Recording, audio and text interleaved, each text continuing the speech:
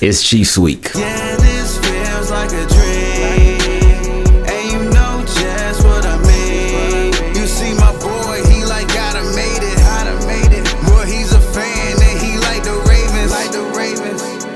And you know just The YouTube team, keep it clean. What's going on? It's Ingraven here with another video. And in this video, we're here to do a preview of the game between the Ravens and the Chiefs coming up on Sunday Night Football. Now, these teams are both coming off a crazy, intense, down to the wire. As a matter of fact, the Ravens game went past the wire. But both of these teams are coming off some just wild games uh, from last week of course, the Chiefs they went up against the Browns, and the Browns jumped out to a big lead on them. Uh, but the Chiefs were like, "Oh, we ain't worried about that," and they came right back. And the Ravens they also jumped out to a, a decent lead on the Raiders, but the Raiders said, "We ain't worried about that." They came right back. Now the only difference is the Chiefs they came back and won. Uh, the Ravens they jumped out to a lead and lost. Um, so they definitely went different directions last week, but last week was last week. Um, now in this game, you know what? Before we get into it, shout out to y'all. Shout out to all the Team Keep It Clean patrons. I appreciate y'all. Uh, thank you for showing extra support to the channel. Uh, if you want to be a Team Keep It Clean patron, you can go to patreon.com slash ingraven vids. If you don't want to become a Team Keep It Clean patron, don't go to patreon.com slash ingraven vids. Uh, but no, I seriously appreciate y'all and what you all do for the channel because it helps out a whole lot. More than you think. Trust me, more than you think. Um, and I just appreciate everybody that supports the channel, that watches the videos, that tells their friends, families about the videos because it, it is a lot of work. It's a whole lot of work that goes into it. And I appreciate the fact that y'all support every single day.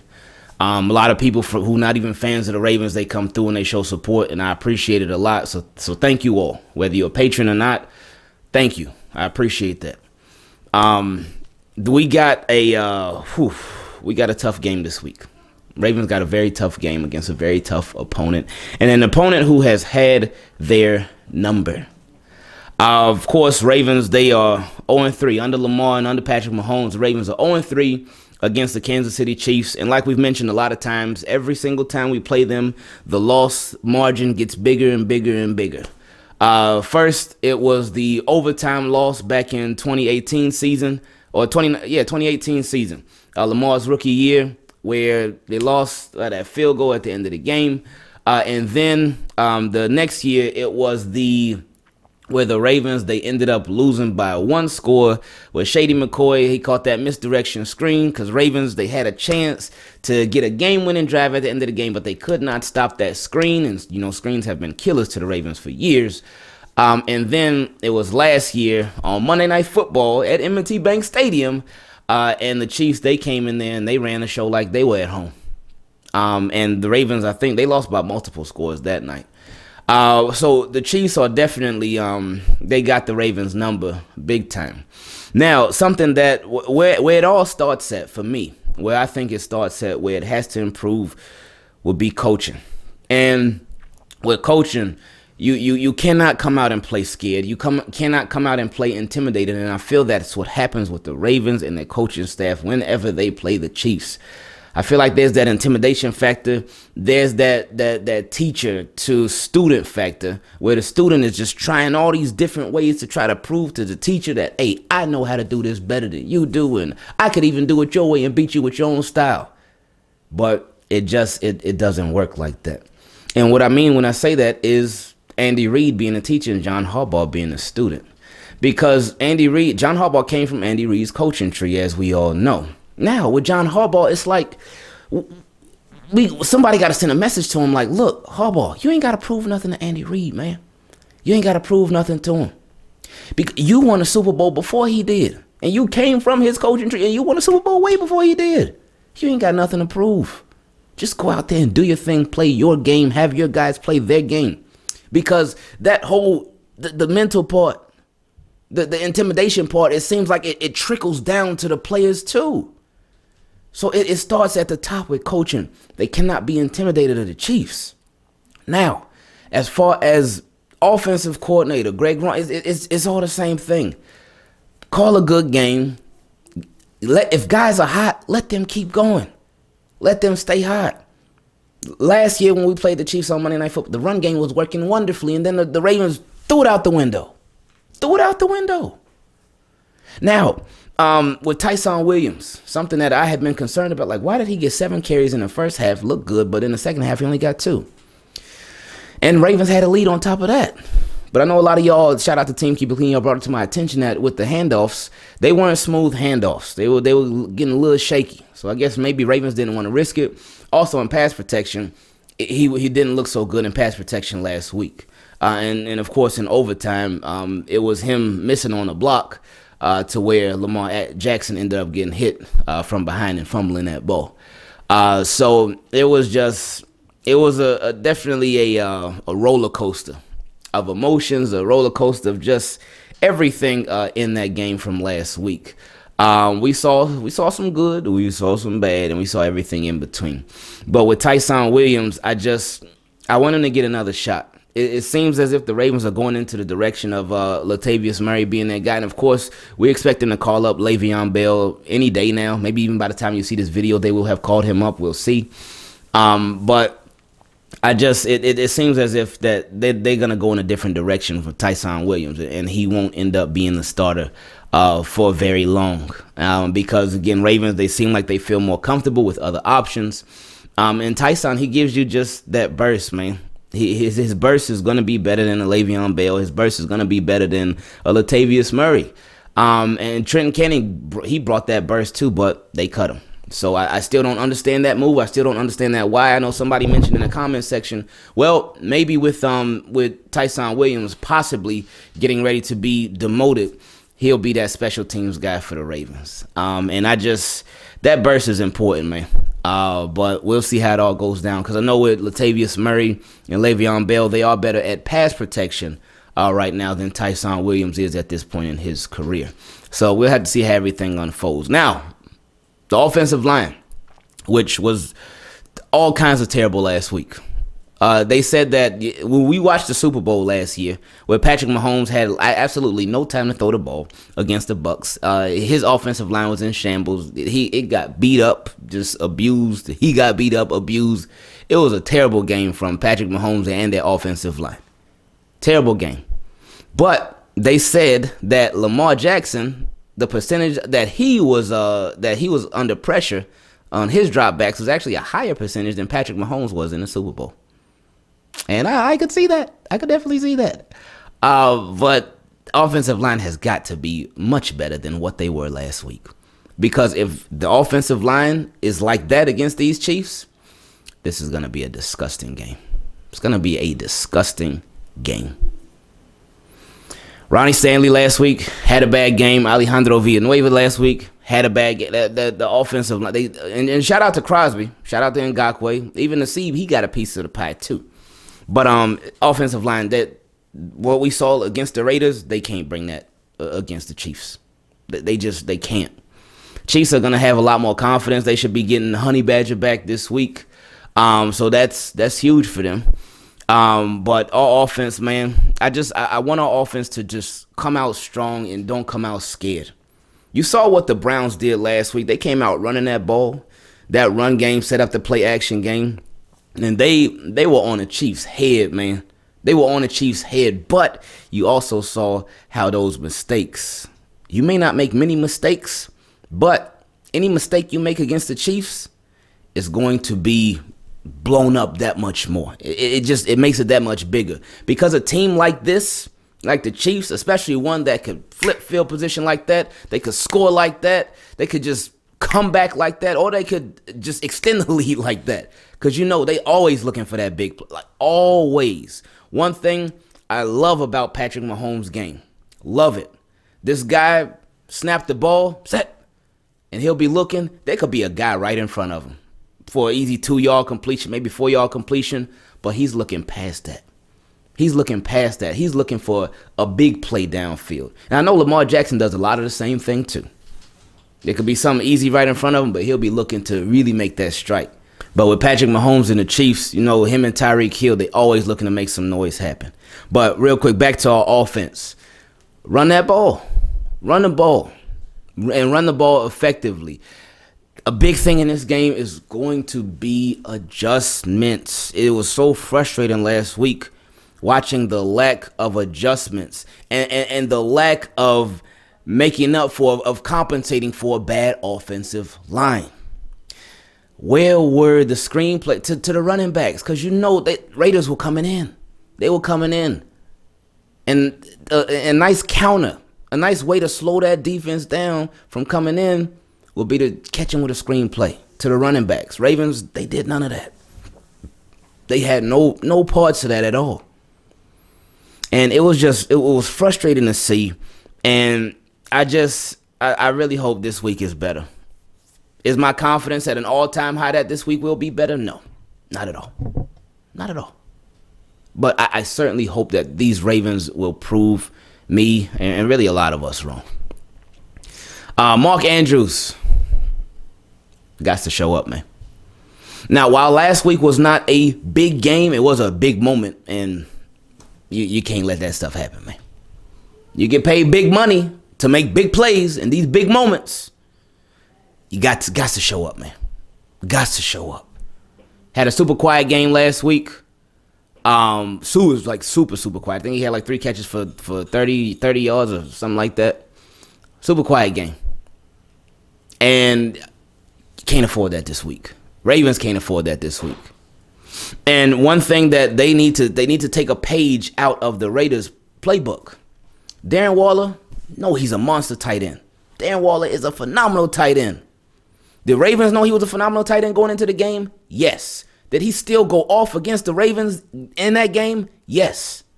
They still found ways to get him involved, despite the Ravens knowing, oh, this is their best offensive player. They still found ways to get him involved. Ravens need to take a page out of the Raiders playbook. Do the same thing with Mark Andrews. It's a this is a this is a it's a big game. It's a big game because the implications that it has in the long run are big. While this, even despite how this game goes, the season is not over. If the Ravens win, the season's not over. If the Ravens lose, the season's not over. But still, in the long run, this game it, it counts a little bit more than some other games do, especially because you're going up against an AFC opponent. So this is going to be something. Now, uh, wide receivers, I will say just keep doing what you do. Hollywood had a good game last week. Sammy Watkins, despite having a couple drops, clean that up, but he had a good game last week too. And you know he's going to be extra motivated this week for some strange reason. I don't know why. But you know Sammy Watkins is going to be he he going to be ready. He going to be ready. Now, um I would hope that the Ravens could diversify the offense just a little bit more. Uh, get, the, get get some other guys involved, like a Devin Duvernay. I expect him to still be on the field a lot, like like he was last week, and that was no surprise. Um, we expected him to be sort of that that that third wide receiver, especially with Rashod Bateman and Miles Boykin being out right now. Um, so I expect a lot of the same stuff. Um, now Lamar, hold on to that ball, man, and and, and I, for Lamar, we just want him to to play his game too. We want him to be be you. We know you can throw the ball. We saw it last week. We've seen it for the past couple years. We know Lamar Jackson can throw that ball. That's old news. All these narratives that people continue to try to push, that's that's been out the window for years. It's obvious Lamar Jackson can throw the ball. But do you? Do you? If you see it, take it. And that's whether it's throwing, that's whether it's running. If you see it, take it. Take it. Now, hopefully, going back to the offensive line, because last week there were a lack of deep shots last week. I think Lamar threw three.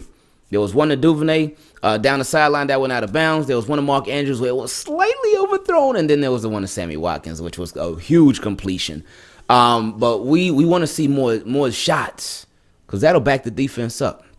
That'll open up everything up underneath too. So that's what we're hoping for this week, and that's for the offense. Special teams, continue to do what you do. You know, special teams is always very special for the Ravens. And that's always the, the one part of the team where you can just always count on them to be good. Um, Devin Duvernay, expect him to still remain at kick and punt return just to give them that possible big play. Uh, and of course, Justin Tucker, Sam Koch. I mean, just that, y'all already know what time it is with them. But defense, Woo-hoo, defense. All right, Wink, we all looking at you, my friend. We are all looking at you in high definition in 4K. Well, NFL with them 8K cameras, we will be looking at you very closely because with Wink, the lack of adjustments were frustrating too last week. Because again, going back to Darren Waller, you know who he is. You knew who he was going into the game. And even if he was a brand new player that you had never heard of and he just started going off last week, all right, second half Let's make some adjustments. Nope. Still continue to just dominate you. Their best player, and you found no way to take him out. Chiefs are a much harder opponent than the Raiders will be.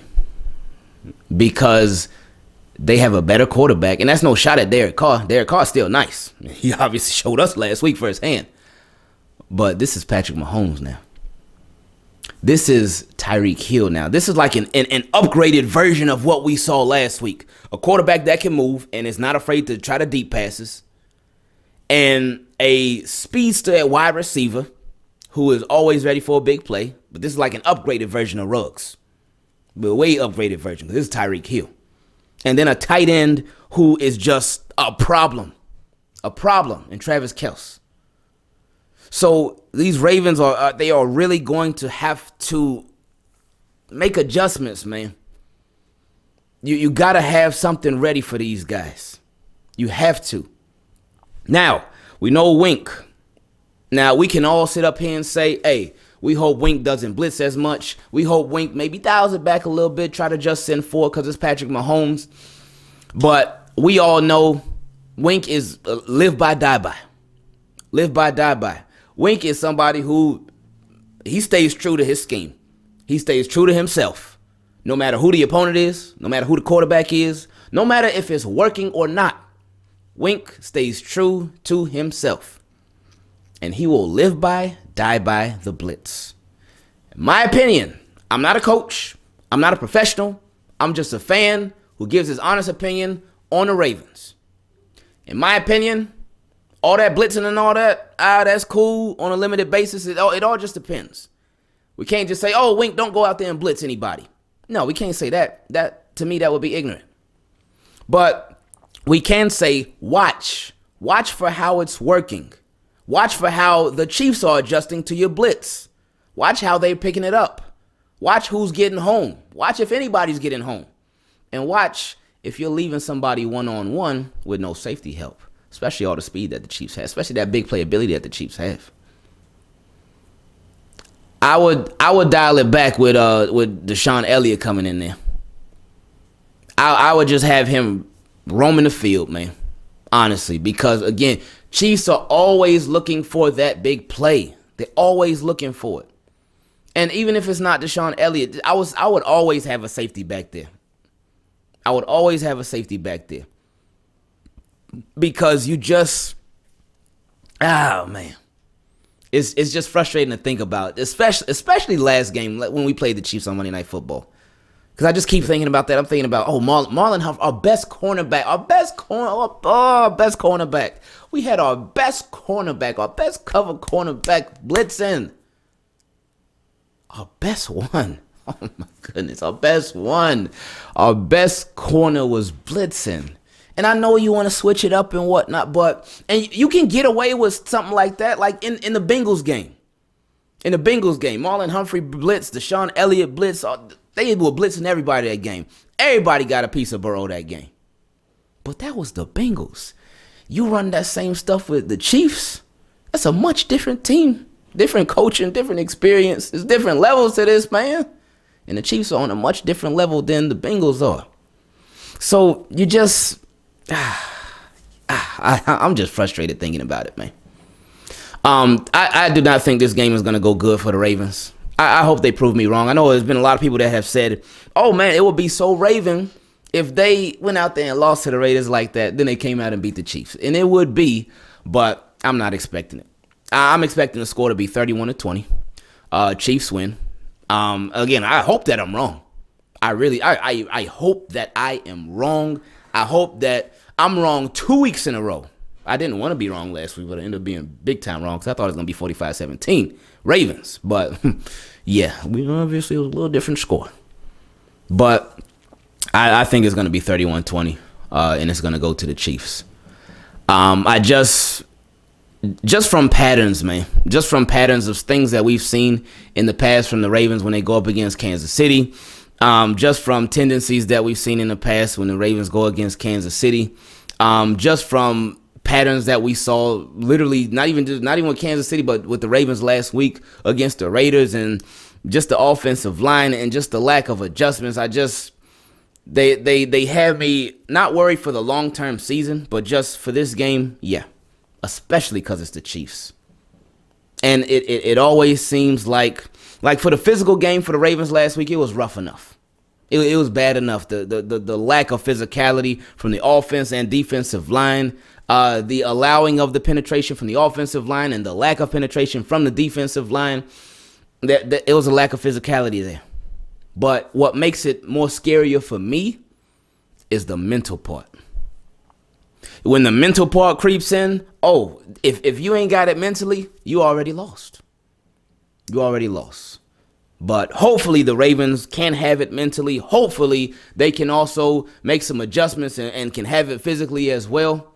Because with who they have, despite the injuries, despite the injuries, and there are a lot of injuries, a whole lot of injuries despite the injuries, Ravens have enough to get it done.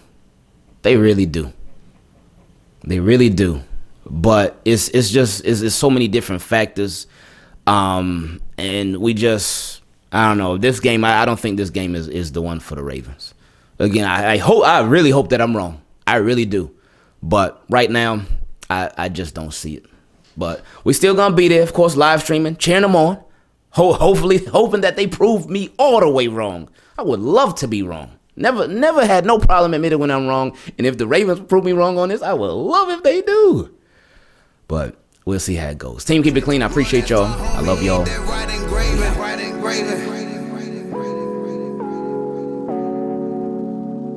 Shout out to Engraving.